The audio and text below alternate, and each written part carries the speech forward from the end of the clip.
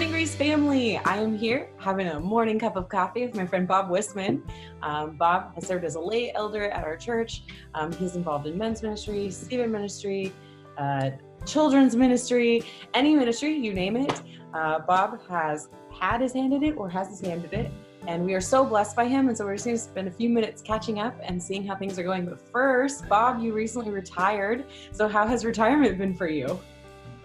Well, um, thank you, Amanda, for asking, and thanks for uh, uh, sharing a cup of coffee with me. I'm I, am i am still learning. Uh, I'm really uh, just in a process of adjustment. This is my second uh, Tuesday, Business Tuesday, that I haven't been at work for the last 43 years. So that's a long time, and so uh, um, I'm just making the adjustment to retirement and and uh, looking forward to what God has in store uh, for uh, both Karen and I and, and uh, myself over the next uh, several years. Yeah, I know that we're definitely very excited for this new season for you and Karen to, to journey together and see what God has. So, what has uh, men's ministry been up to lately during our pandemic? I know there's men's breakfast. Um, tell us more about that. Sure. Yeah. I mean, I think we were initially anxious, Amanda, because the fellows, as you know, uh, have a tendency to to uh, not seek uh, a lot of fellowship. Sometimes guys can just sort of uh, withdraw into hobbies and other things of that sort. Um, and so uh, we really wanted to be an encouragement to fellows uh, to not only maintain the existing fellowship but build exist new relationships with with fellows. So um, uh, all of our men's uh, groups are meeting on Zoom. Uh, that's right, uh, and uh, obviously they represent a variety of ages. So uh, whether they're young or, or older, they're meeting on Zoom, and so that's an encouragement to me to know that the fellas want to stay connected, and so um, they're encouraging each other, holding each other accountable. being involved in Bible studies, being involved in life groups, and so that's a good thing. And then, um, as you know, on a monthly basis, we get together and and uh, have a monthly men's breakfast. And, and thank you for your support and help for that and trying to get that message out. And so, we have upwards of 25 guys uh, that jump on Zoom uh, for that. And uh, and uh, we've touched uh, over the last couple of months on on on a couple of topics, including um, religious freedom, kingdom building. Uh, and this coming month, uh, we're going to be talking about, of all things, ready for this, uh, airplane safety. And uh, as somebody who's been on an airplane a number of times uh, since the pandemic starts, it's important to me. Uh, but we're really gifted that one of the fellows within our church, Tom Enyart, is is is sage, is is a really wise man when it comes to these issues. So Tom's going to be sharing with the men of the church some issues about airplane safety and how he has provided leadership on that uh, as a man of faith. And so we're all looking forward to hearing from Tom. That's awesome. And that's coming up August 1st. Mm-hmm. That's right. Morning. So, guys, if you have not been connected yet with the men's breakfast, um, that's a great place to jump in and get started and meet some more guys, even over Zoom. Um, we have an event on our website that you could just click right into. Uh, and in the video description, too, you'll have a click link that you can click into the event. So it's really easy to access and just jump right in and and believe me, all the guys are friendly. Everybody has a good time, and uh, and believe it or not, uh, Amanda, we usually ask an icebreaker question too. So you know, we'll ask uh, guys uh, to share some uh, some insights uh, themselves, either what they did or what they like to do, etc. And and that's a great way for us to get to know these guys. That's so awesome. And I know we have such a wonderful group of men that gather together at Grace. And so it's really encouraging to hear that you guys are still continuing to meet and that it's such a good time together. Yeah, no, thank you. I appreciate that and appreciate your support too. Of course, yeah. And you are also involved in Stephen Ministry, um, which is such a huge resource and tool for our community. Um, but I see it especially being needed in this season of life right now. Um, so, can you tell us what is Stephen Ministry? What is available to our congregation right now? We're isolated, but we still want to be together. So, um, share with us a little bit more about that. Sure. Well, uh, we've been fortunate uh, uh, in the nearly 20 years uh, that we've had Stephen Ministry at our, our, church. We've trained up, I think, over 50 Stephen ministers in the in that uh, time period. So, and uh, we have 20 Stephen ministers currently right now, both men and women serving. And so, uh, as I've often said, I count it a privilege to be involved in that ministry, but I also count it a privilege to come alongside uh, Sharon Hamill, uh, Don Bain, and Pastor Steve is is helped to lead that group. And um, and uh, the time obviously is has been a really a time of, of, of stress in a number of people's lives with the pandemic. Uh, this could be a relational, a financial, physical, medical stress, um, and and in some cases loss.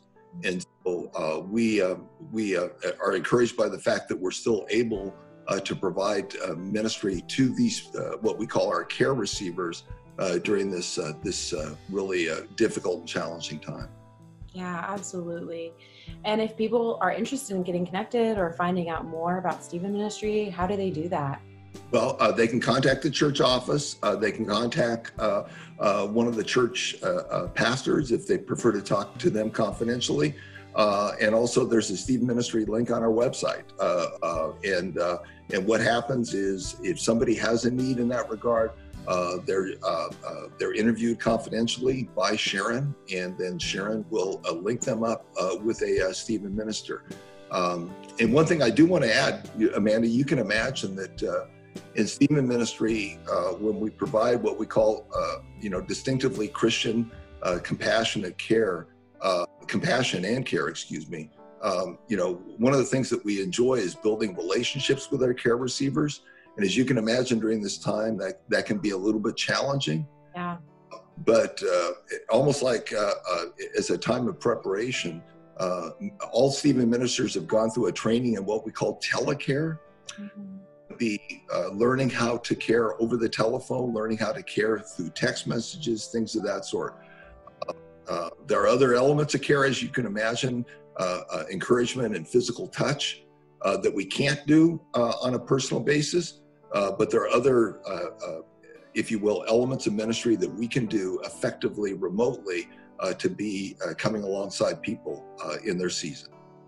Yeah, absolutely. And from experience, Stephen Ministry has been such an incredible support and care ministry and um, source of encouragement for me. And I know so many others who have gone through. So um, thank you for being a part of that ministry. And um, for anyone watching that's interested in Stephen Ministry, there's also a link that's going to, it's in our uh, video description that will link you directly to the Stephen Ministry page on our website.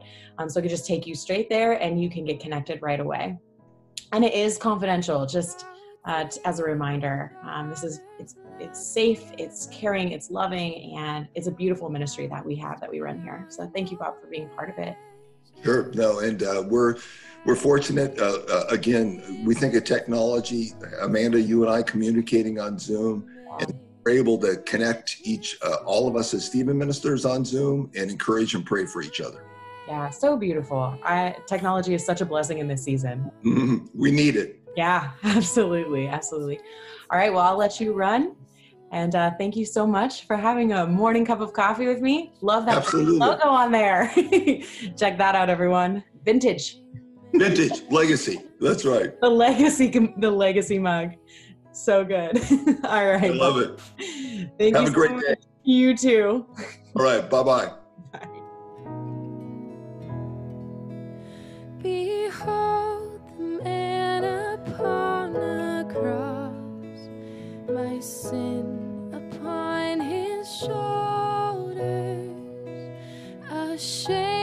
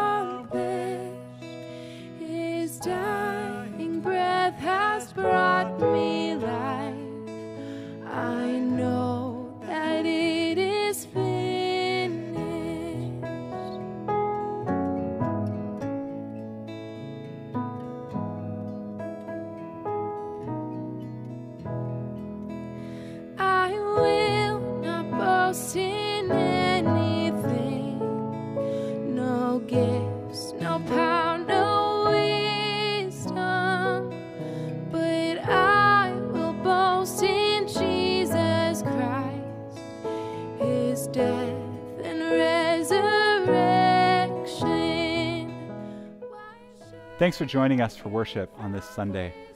This week, we're going to be between two teaching series, and we're going to look at the historical Jesus.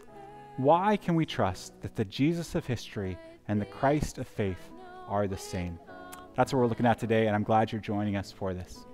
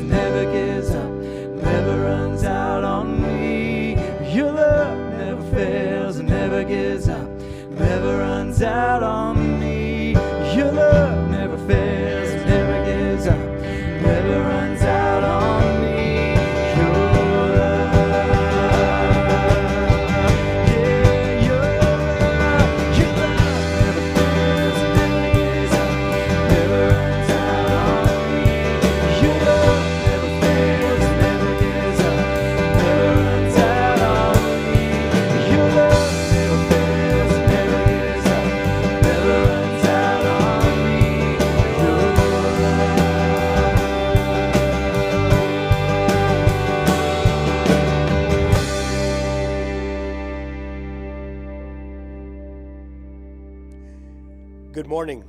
Join me in prayer. In Romans chapter 8, we read, We know that the whole creation groans together in the pains of childbirth. And not only the creation, but we ourselves who have the first fruits of the Spirit groan inwardly as we wait eagerly for adoption as sons, the redemption of our bodies. Lord, we see in today's pandemic how the creation groans. Indeed, your own children groan under the weight of our human fragility and weakness. We yearn for the coming day when our bodies will be eternally transformed. We confess, as this chapter also teaches us, that so often we don't know what to pray for as we ought. So we thank you, Holy Spirit, that you are with us to pray for us according to the perfect will of God. As we look today at the story of Jesus, we thank you that the biblical record is reliable and true, worthy of our faith and transforming to our lives. Teach us and motivate us as we hear today's message and bless our time of worship. We pray for those who are in our church family or who- may be watching this service and are suffering. Uphold them by your grace and strength. We pray in the name of Jesus, who has saved us from our sins and will one day complete our salvation, whom we can joyfully serve as our Lord. Even so, come quickly, Lord Jesus. Amen.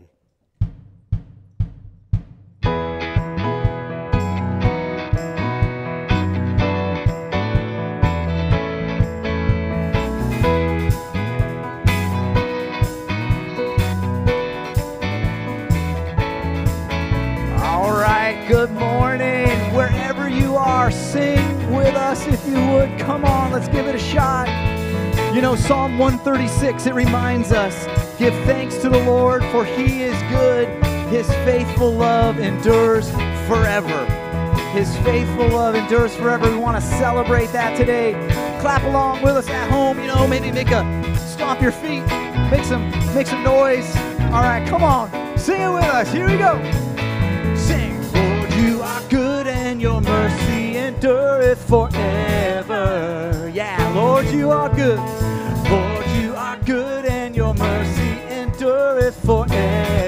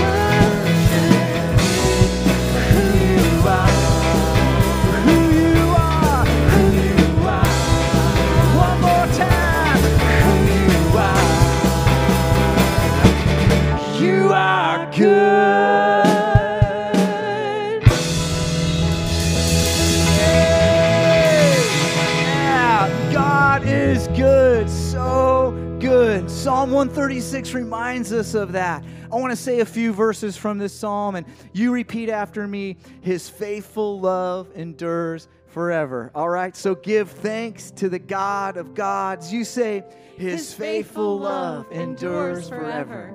Give thanks to the Lord of all lords. His faithful love endures forever. Give thanks to him who alone does mighty miracles. His faithful love endures forever. He remembered us in our weakness. His faithful love endures forever. He saved us from our enemies. His faithful love endures forever. He gives food to every living thing.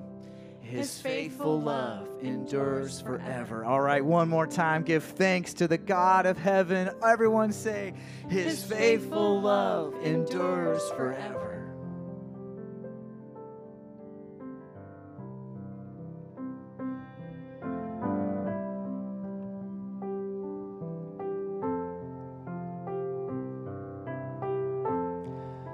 One of our big prayers, of course, as we gather together is to hear from God.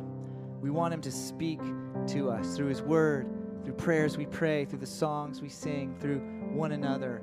And so this song helps us just ask God in, in such a poetic way to speak to us, to change us as we're together. So join with us as we make this our prayer. Speak, O Lord, as we come to you to receive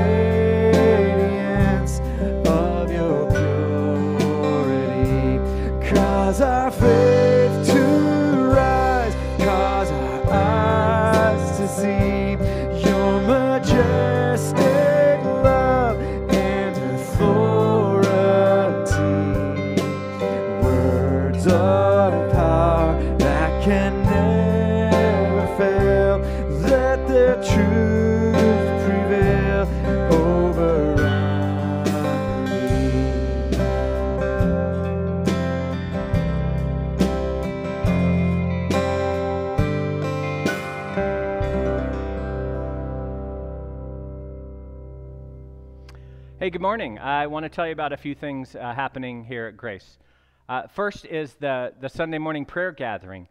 That happened this morning, uh, Sunday the 26th, on the lawn, 8:45 to 9:15.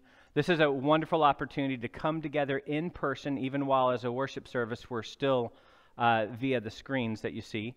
Uh, we're going to encourage each other. We're going to be encouraged during this time.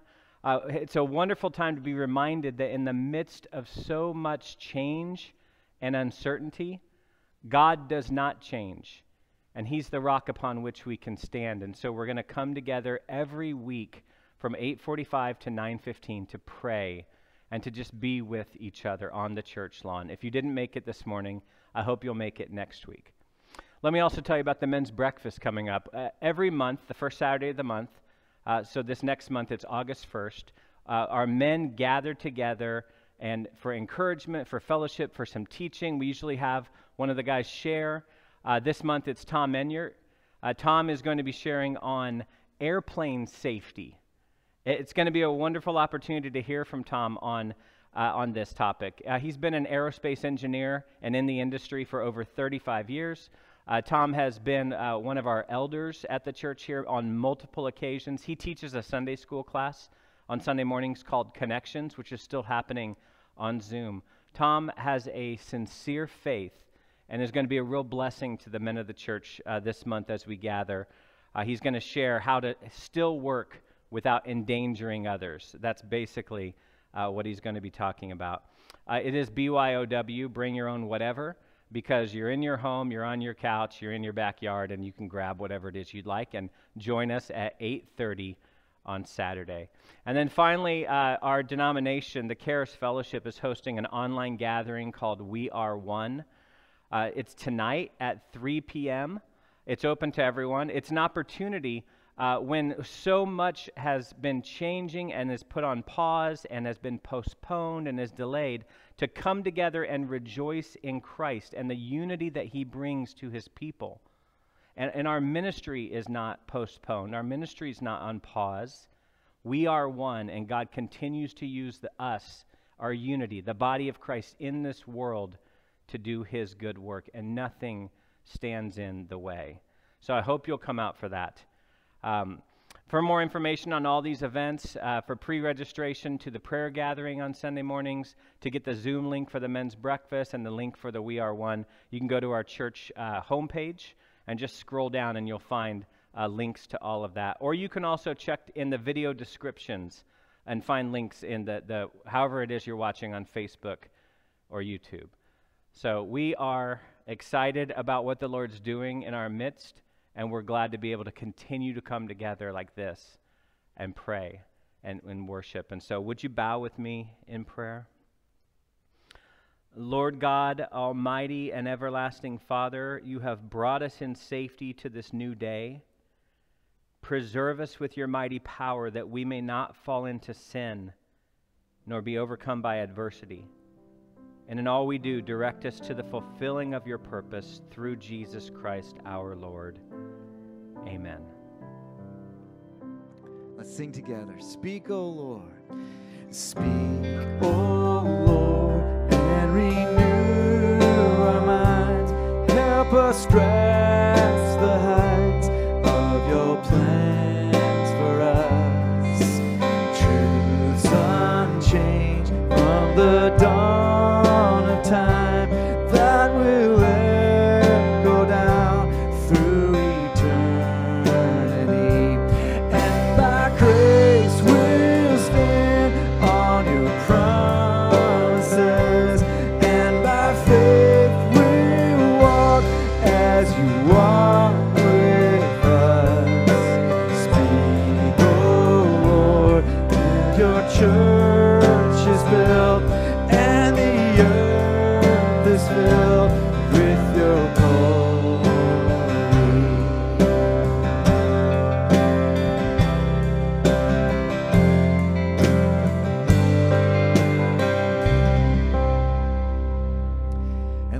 this prayer together that again asks God to speak to us through His Word.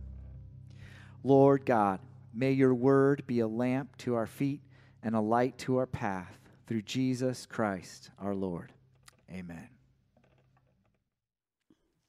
Good morning, Grace. This morning's reading is from Luke 1, verses 1 through 4.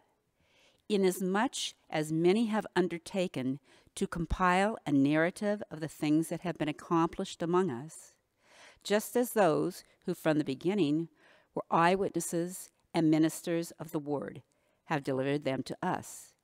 It seemed good to me also, having followed all things closely, or for some time past, to write an orderly account for you, excellent Theophilus, that you may have certainty concerning the things you have been taught. This is the word of the Lord.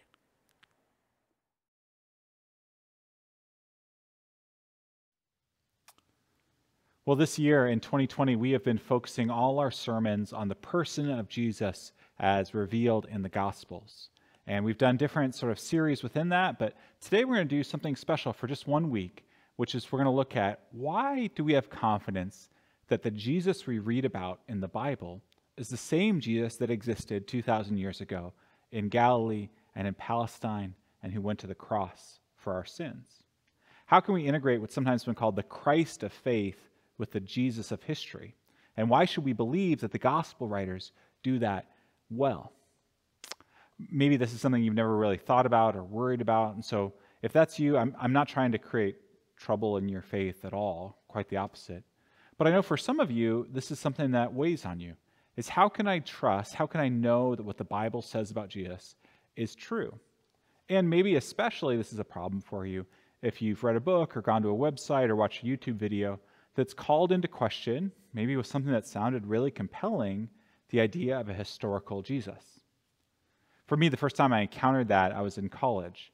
And I had grown up in the church and I had grown up uh, reading the Bible and reading about Jesus. And I certainly didn't grow up in a Christian culture. I went to a public school in California. And so I knew a lot of people who didn't believe in Jesus. That was sort of the majority of my friends. But I'd never really encountered an academic objection to Jesus.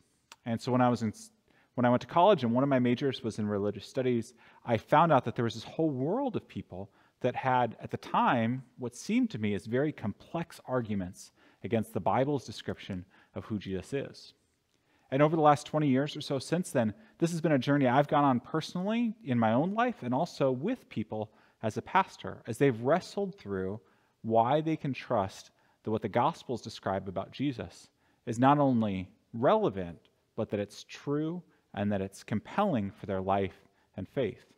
And I hope in our time today, we can look at how the scriptures themselves describe why they can be trusted about Jesus. And I hope in that process it'll help you along in your faith as well.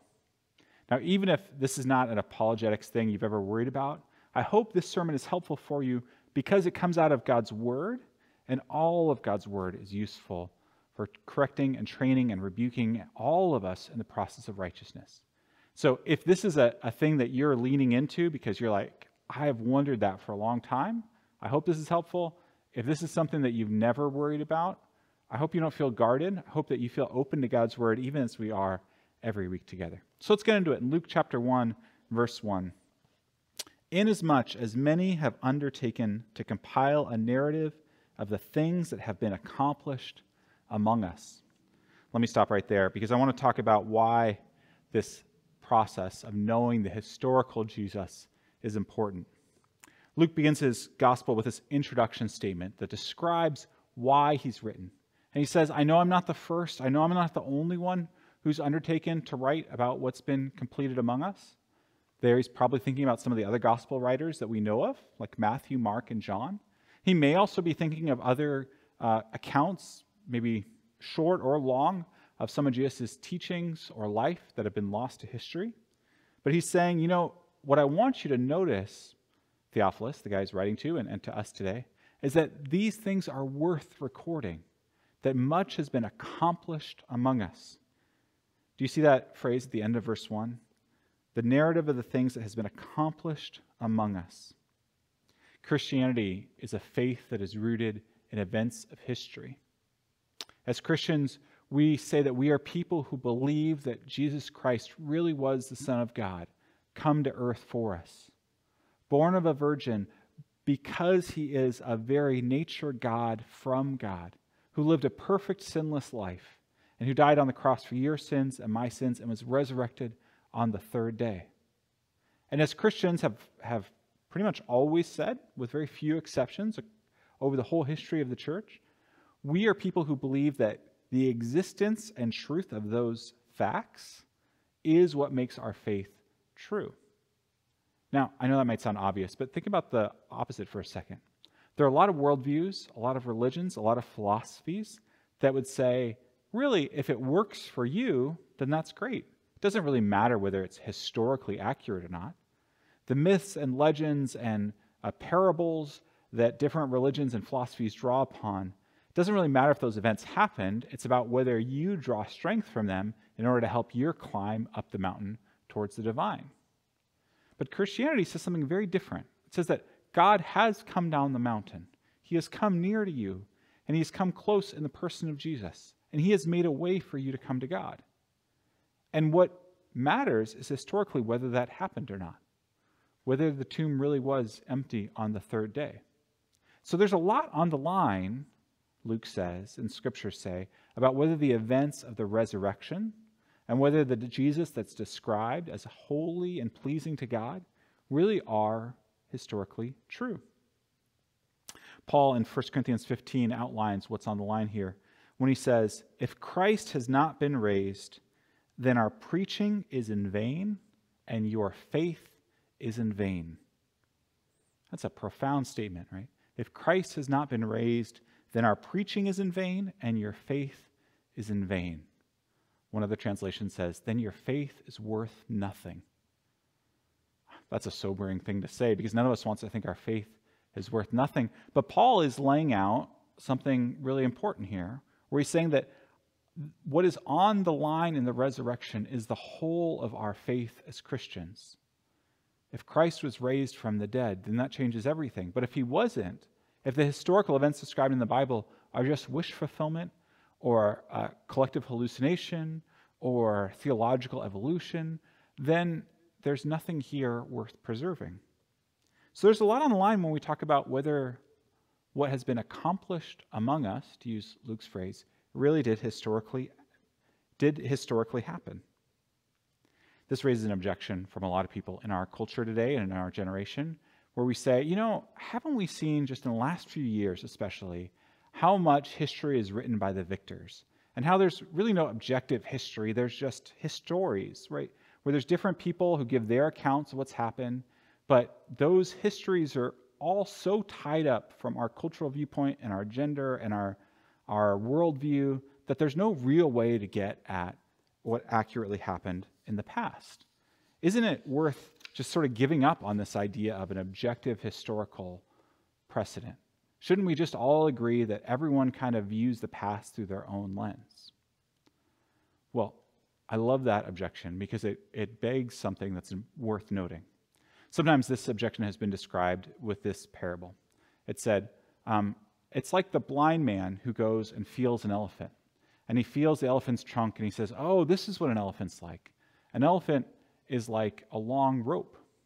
And another one of his friends feels the leg of an elephant and says, No, no, no, no. An elephant isn't like a rope at all. An elephant is like a giant tree trunk. And yet another of the blind friends feels the ear of an elephant and says, No, you guys are all wrong. An elephant, it's much more like a, like a rug or a carpet than any of the things you're describing. This parable, um, which Lesslie Newbigin talks about in his book, The Gospel in a Pluralist Society, is meant to teach people that pluralism shows that, that none of us really can see what God's like, or none of us can really see what history is like, and we're all just sort of grasping in the dark. But Newbigin's response to it is yes, but there is an elephant there, isn't there? And the narrator of the parable sees the whole elephant, doesn't he? Doesn't the narrator of the parable take on this sort of omniscient role to see that there is something objectively there's objectively true about the elephant, even if we're groping around trying to only describe a part of it.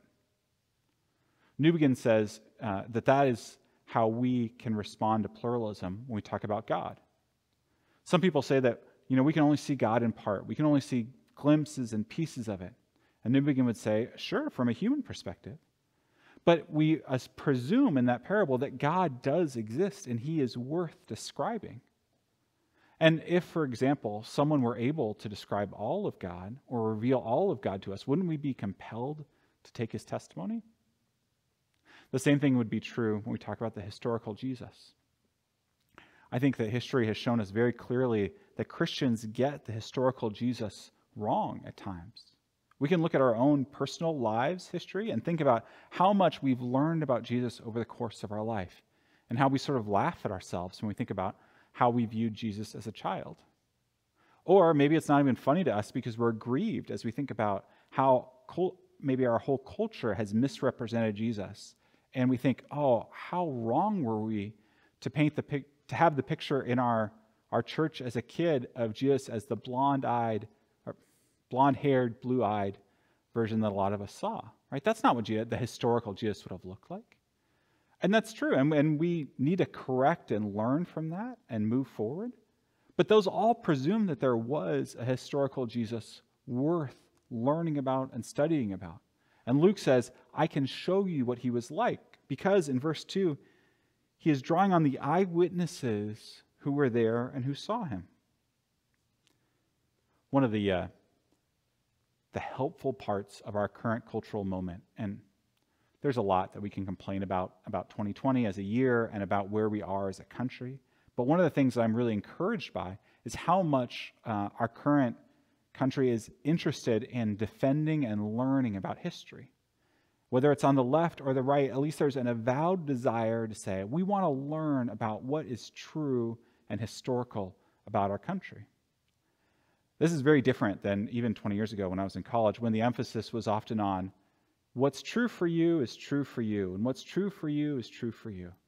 And as a, as a country, I'm hopeful that we sort of rejected that foolishness and that childishness and said, no, what happened historically really matters.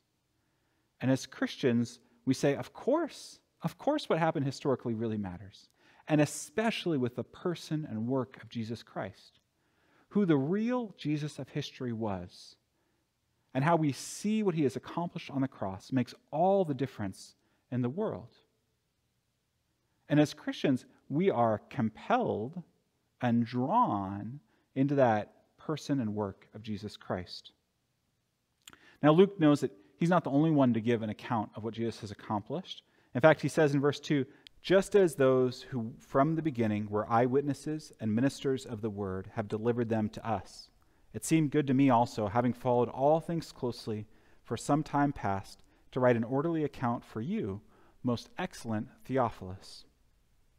Luke says that the reason why he can be trusted in what he's writing is because he is drawing on a compendium of eyewitness testimony from those who have been there. This is really different than a lot of his ancient history. A lot of ancient history is written hundreds of years after the events. If you ever read uh, Livy or Plutarch or, um, or even Josephus, you'll read about events that are narrated from hundreds of years before the writer. And Luke says, No, I'm writing based on eyewitness testimony. And we see that throughout Luke's gospel, right? Luke, who spent a number of years uh, in the same town as Mary, the mother of Jesus, draws on her own eyewitness testimony to describe the first couple chapters. Luke, who would accompany Paul and visit a lot of the churches around the world, uh, the known world at the time, as well as Jerusalem, writes things about what different apostles have seen, what, uh, what the men on the road to Emmaus, see. He draws on the witness of people who were there to write down what has happened. Um, there's a scholar named Richard Bauckham uh, who's out of the University of St. Andrews, a, a, brilliant man, and he's written a book called Jesus and the Eyewitnesses. And it's, it's an academic book, so I'm not necessarily recommending it to you if, if you're looking for some light reading during COVID. But if you're really wrestling with this question of can we trust that the Gospels are based on eyewitnesses, Bauckham's a really helpful resource. And in that book, he lays out a case for why what we see in the Gospels represents eyewitness testimony.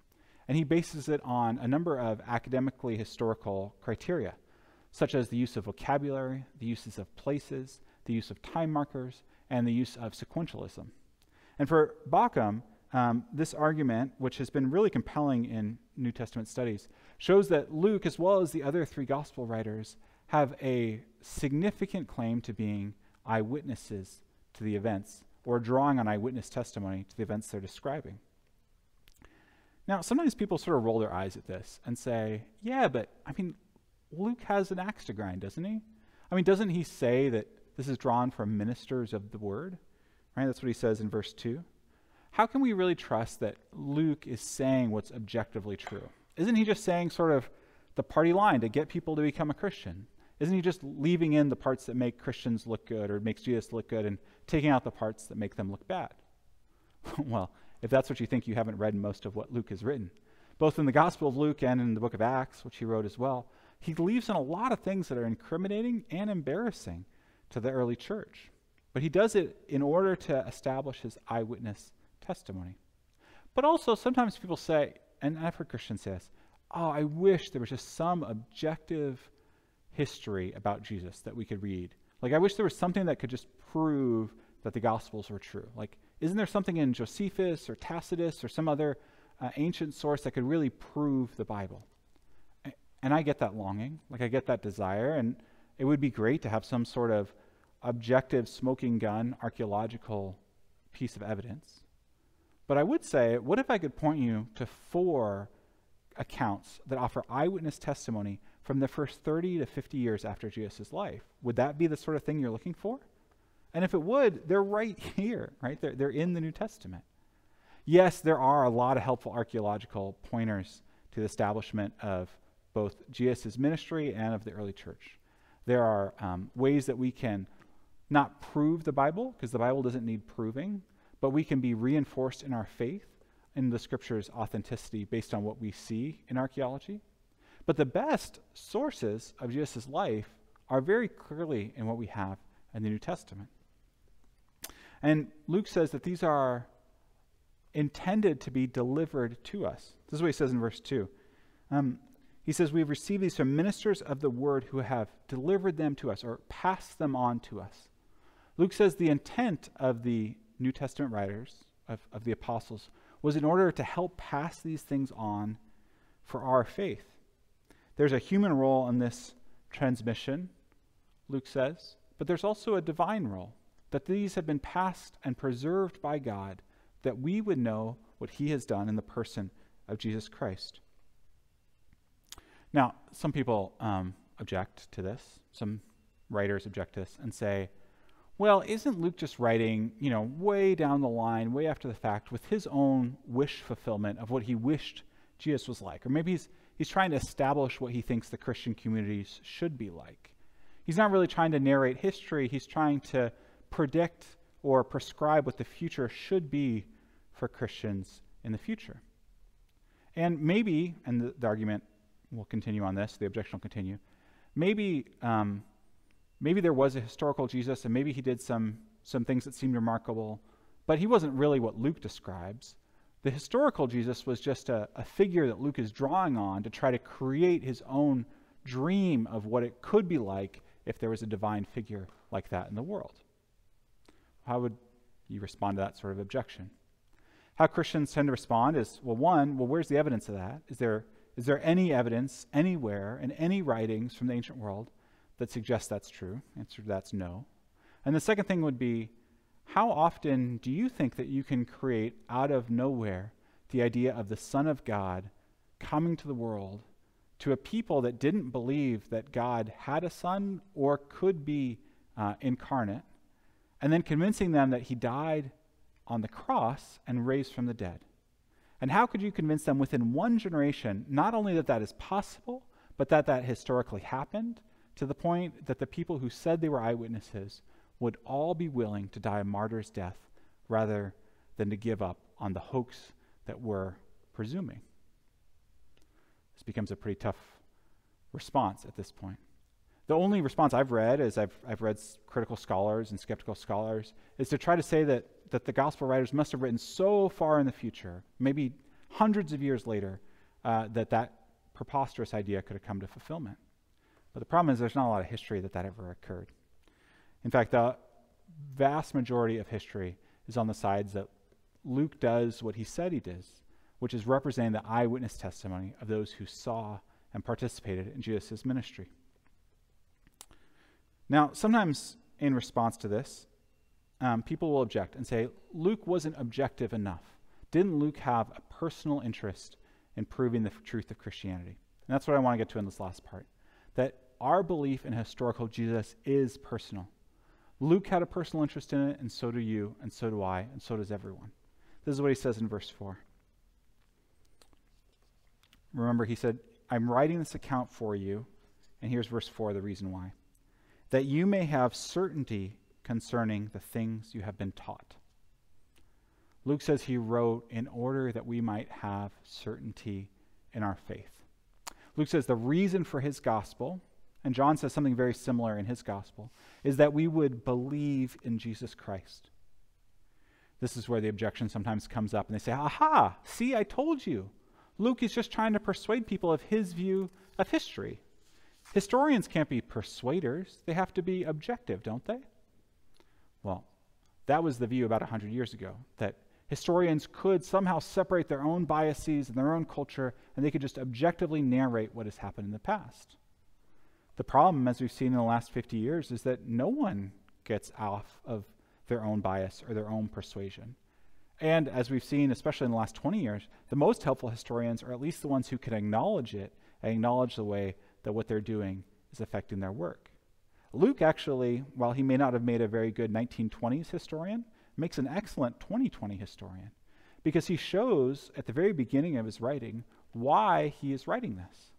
He is a historical theologian, and he's saying, Theophilus and, and all of us, I want you to see that what happened in history matters for you. It affects your life, and it makes dramatic claims on your life.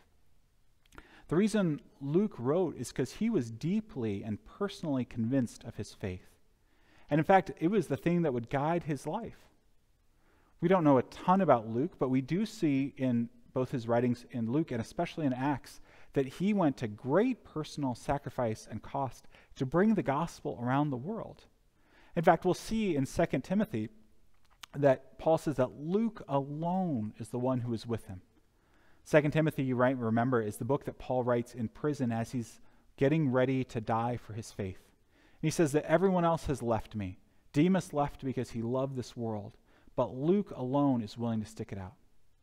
Luke is someone who not only believed in the gospel, but was willing to put his life on the line for the truth of what he said. Now, is it possible that Luke was misguided or a fool, that he just didn't know any better? I suppose that's possible, but if you've read Luke or Acts, you see that he's actually a brilliant man. He was a physician by training and a man of incredible writing ability. So I don't think it's that he was a fool or easily duped. Well, is it that Luke had some sort of personal cultural interest in uh, projecting this narrative? Well, Luke was a Gentile. He wasn't Jewish. This wasn't his desire to try to uh, advance his ethnic people group. No, I, I think the reason Luke was willing to give his life for this cause is because he believed it really happened and that Jesus, who was narrating in the Gospels and in his Gospel, really was who he said he was. And he says that the reason he's written this is so that his certainty could become our certainty as well. These Gospels exist to reinforce the faith that is given by the Spirit. Now, this matters not just in Luke's day, not just for Theophilus, but for you and I as well. You know, I, I hope that as we've talked about this passage, as we've talked about uh, the idea of historical Jesus, this has been intellectually helpful for you, this has been theologically helpful for you. But, but I want to end with talking about how this affects your relationship with God today. You know, in Hebrews, it says that whether Jesus actually came and actually lived a perfect life and actually died for your sins deeply matters in your standing before God. In Hebrews 4 15 and 16, it says, we, don't, we do not have a priest who is unable to sympathize with our weaknesses, but one who in every respect has been tempted as we are, yet without sin. Let us then with confidence draw near to the throne of grace that we may receive mercy and find grace to help in time of need. Do you hear what the author of Hebrews is saying? He's saying that the reason that we are able to come to God, that we're able to draw near to the throne of grace, is because Jesus really lived a perfect life before God. The reason that we're able to come to Christ in prayer is because he really did experience human life the way that we did. And the reason that we're able to know that God sees us as perfect before him and we have a hope for eternity is because at a time about 2,000 years ago, his son really did take our sins on his shoulders. Whether these things happen historically or not makes all the difference in the world, in our faith generally, but in your life in particular. I hope that as you look at God's word, you see the reasons to have confidence in its historical accuracy and in how it describes Jesus specifically. And in that, what I would love for you to do, or I'd love for you to lean in, is to um, see the Jesus who existed in history as your Lord and your Savior, the one who has lived the life that you and I refused to live, and yet died the death that we deserved, so that we could be with God forever. Let's pray together. God, we are grateful for your Son. We are grateful that he's not just a great literary figure or a great theological figure or a great philosophical figure, though he is all of those things, but that he is the historical person who died the death that we deserved and was raised to life again. God, there is a lot about his life that seems spectacular to us and awesome to us and even hard to believe at times. Accounts of him walking on water and feeding the 5,000, being born of a virgin. Those things are, by their very definition, remarkable. And God, if there is any pride in us saying those are hard to believe, God, we ask that you be merciful to us. But God, in those awesome acts, you revealed yourself. God, would you give us a deep sense of confidence in your word and in your Son, that our faith may transform us, um, that, that you may transform us in our faith in, in him. In Jesus' name we pray. Amen.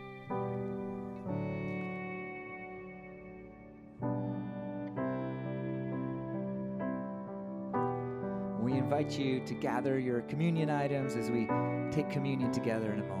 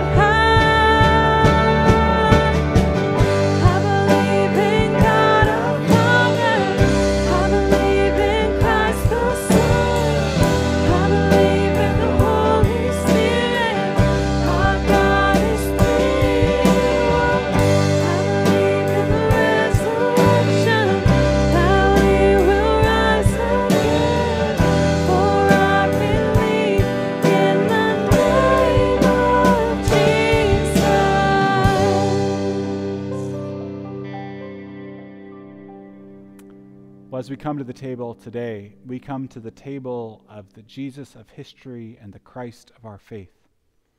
And on the night that he was betrayed, Jesus took the bread, he blessed it, he broke it, and he gave it. And he said, This is my body broken for you.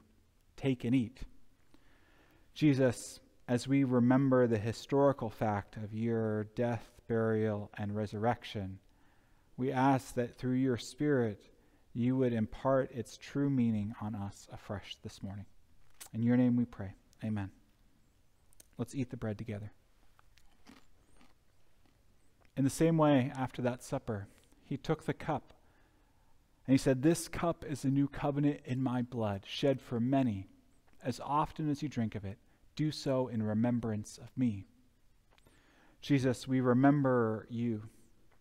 We don't just remember our memory of you, but we remember the true you who died and came back to life for us. God, we ask that in our memory, would you set us afresh and aright this morning? Help us to unlearn anything about you that is not true and to learn everything about you that is true. In your name we pray. Amen. Let's drink the cup together.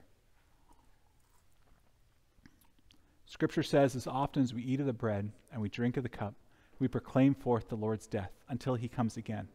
Even so, the cry of the church is, Come quickly, Lord.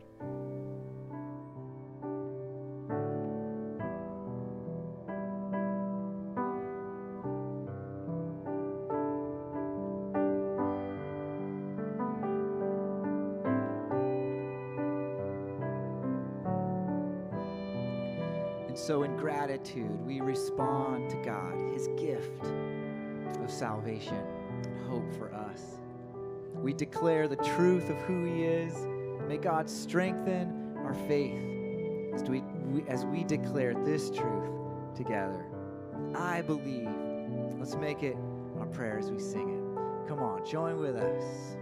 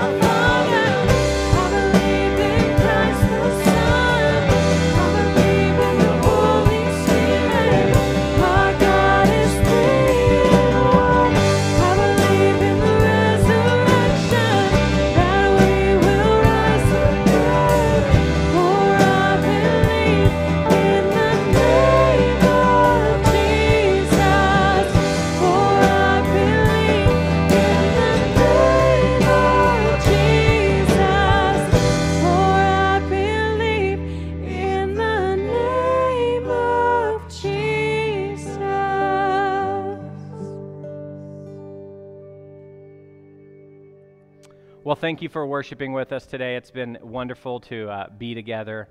Uh, again, look forward to seeing you on the lawn next week in person, 8:45 to 9:15, uh, for our prayer gathering. Uh, I, we say this every week, but we sincerely mean it. If you have any needs, we are here for you. I know things are different, but we, we're still available uh, by phone to meet in person with our masks on. We want to pray for you. We want to provide for whatever financial needs you might have. The church has a, a really generous caring fund. Uh, we have resources in, in people and in things, and we just want to make sure that those resources get to those that have needs. And so, whatever your needs might be, please believe me when I tell you that we are here for you. We want to hear from you, and we care for you. Uh, also, live with Pastor Bob. Uh, this is uh, on at noon on Facebook Live. It's a follow up to the the sermon. So, if you want to hear Bob speak a little bit more about uh, what he didn't get to say on Sunday, and uh, field your questions. A lot of times we'll have uh, we'll hear a sermon, we'll have questions, and maybe we'll write them on a note and we'll put them in our Bible, and then we'll come back the next week and we won't have interacted with those at all. And this is an opportunity to not do that, to actually get to, to ask questions and think more about what God was stirring up in your heart during the sermon. I, I do want to just add one uh, little uh, word of clarification here. Some of our one of our children in the church saw on the screen it said live with Pastor Bob, and they thought that it said live with Pastor Bob, and they were telling their parents basically they like Pastor Bob, but they don't want to live with him. And so, just to be clear, this is not live with Pastor Bob, this is live with Pastor Bob. Well, Uh, our benediction today, our good word to send you on your way, comes from Colossians 3:15. And it says this, "And let the peace of Christ rule in your hearts, to which indeed you were called into one body, and be thankful." Go in the grace of the Lord Jesus Christ today. We